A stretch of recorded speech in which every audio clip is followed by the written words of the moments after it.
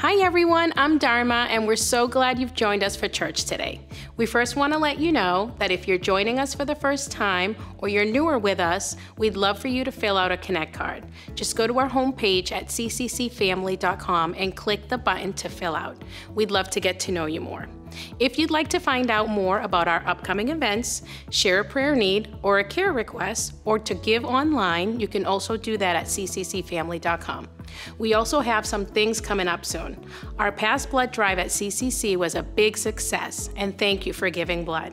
Our next blood drive will be on August 13th, and you can register for that online on our upcoming events page at cccfamily.com. We're excited that we are regathering as a church family in person this weekend. We'll be continuing to have in person services every weekend, Saturdays at 5 p.m. and Sundays at 9 and 11 a.m. If you're unable to join us in person, we'll still continue to stream our services live online every Sunday at 9 and 11. If you want to know more about regathering, make sure to visit our resources page at cccfamily.com.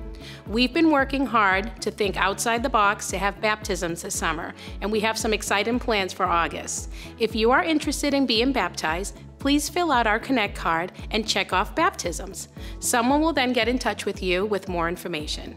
You can fill out our Connect card at cccfamily.com on our homepage or call the church office directly. Those are the announcements we have for you this week. Again, we are so glad you've joined us for worship today.